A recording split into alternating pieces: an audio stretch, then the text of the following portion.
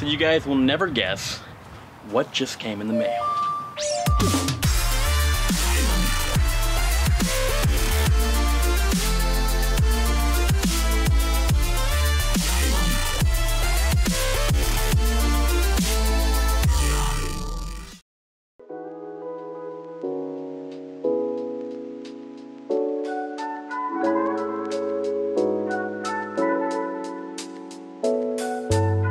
What's up guys? No time for an introduction today because I'm really excited and I I think you guys will be too. Let's check it out. New seats. Yeah. So for those of you who don't follow me on social media, you kind of missed out on what's going on. I happen to actually have obtained a sponsorship with Corbeau Seats. They gave me a big discount on a pair of brand new seats, so why not take them up on it? So I went ahead and I ordered the Corbeau RRB seats. Now the reason being that I had to buy new sliders and brackets was because I actually sold the seats that are in the GTI right now, which would be the Corbeau RRS seats to uh, one of my friends who's actually in the Cali Outcast crew. Bought myself a new pair. We're gonna take a look at them and install them in the GTI. Stay tuned.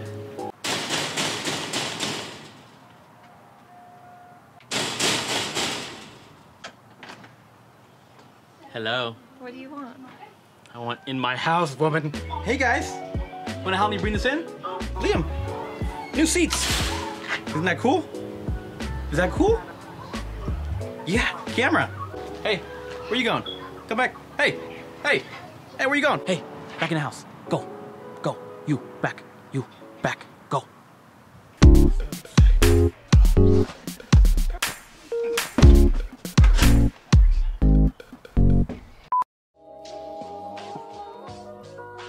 Go ahead and open them up, see what's inside. Hey, boy. Wow.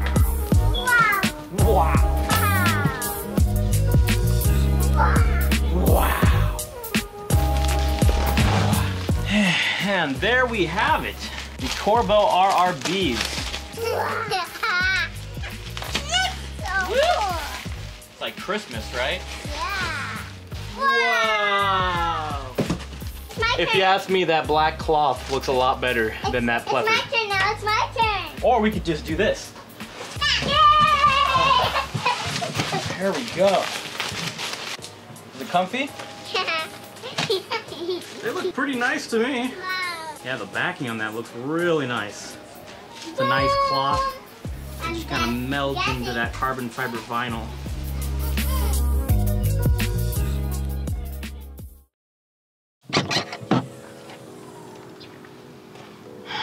So as you guys have probably noticed, it's nearly impossible to film inside of my house without people going absolutely crazy.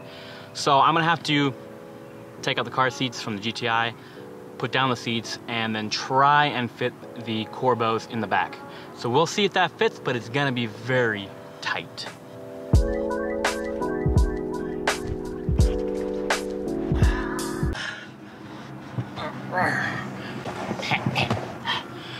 So, they fit.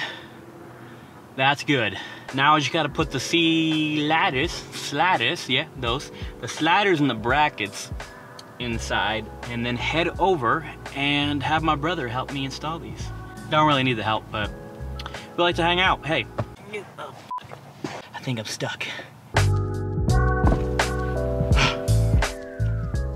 Okay, so everything's loaded up in the car and we're ready to go.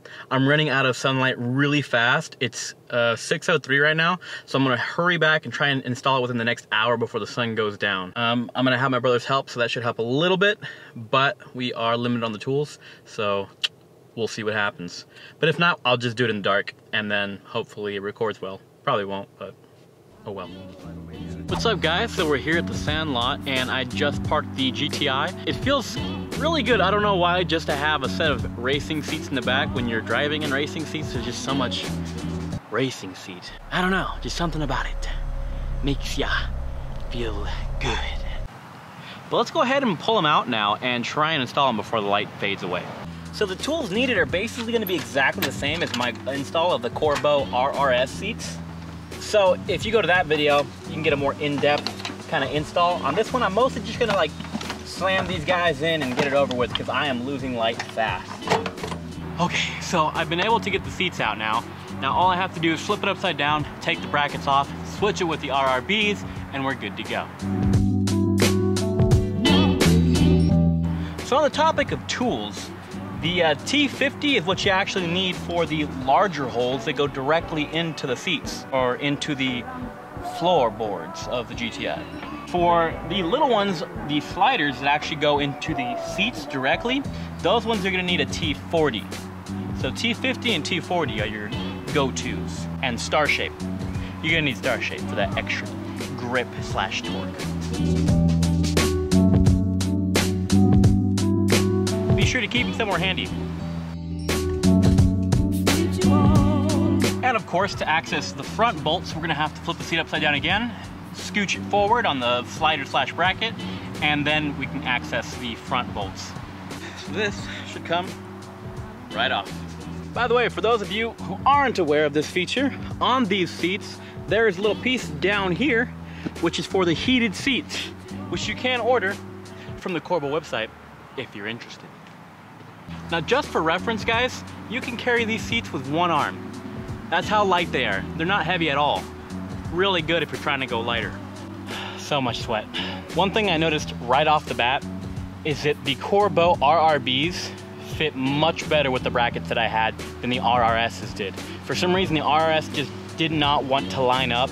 It was kind of had to force the bolts to kind of fit them in there. It was just a little bit, um, well, it just wasn't universal. It really wasn't. I had to mess with it a little bit. But the RRBs, straight out of the box, good to go.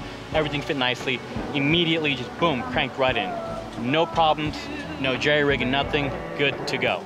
That's my first thing, first notice of something different. Of, you know what I mean.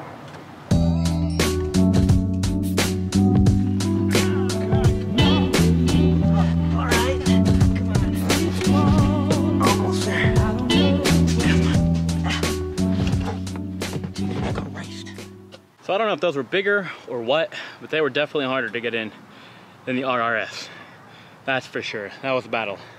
Might have a little something to do with my back seats being down though. But uh, once I take the other seat out, that shouldn't be a problem, so we'll find out. Damn trees. So pretty much, this is the RRS. Those are the RRBs. And that's what the difference is looking like. These are more of a pleather, kind of daily driver kind of look. If you notice, the bolsters aren't really that aggressive and they don't follow all the way through to connect. So it's it's good, it is good. It's great for daily driving and they're super comfortable. They really are. Now let's go to the other side. Now if you come take a look at the RRBs, you immediately notice the difference that these have a almost like one piece connection all the way down and they have a slot on the side for the four point or five point harness an extra cushion up here in front, which allows for better um, kind of support for your legs versus the RRS. More cushion up front. And it does look a little more cushiony. It might just be because of the cloth, but the cloth actually looks very nice and elegant. And just look at the comparison. I mean, they're very similar in, in many ways, but in my opinion, the RRB for that extra 100 to 200 bucks, it is just that much better. It really is. And this is some high quality cloth. It's not like the cloth that comes stock in the back of the GTIs. I was hoping it'd match, but it actually doesn't. This is much darker.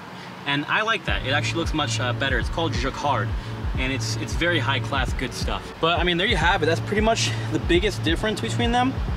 The side slot, the better bolstering, and it is still reclinable for you, those of you who are wondering. This is a, a crevice right here and this crevice allows you to still recline using the handle but still gives you that bolstering if you want to have a more uh, upright position.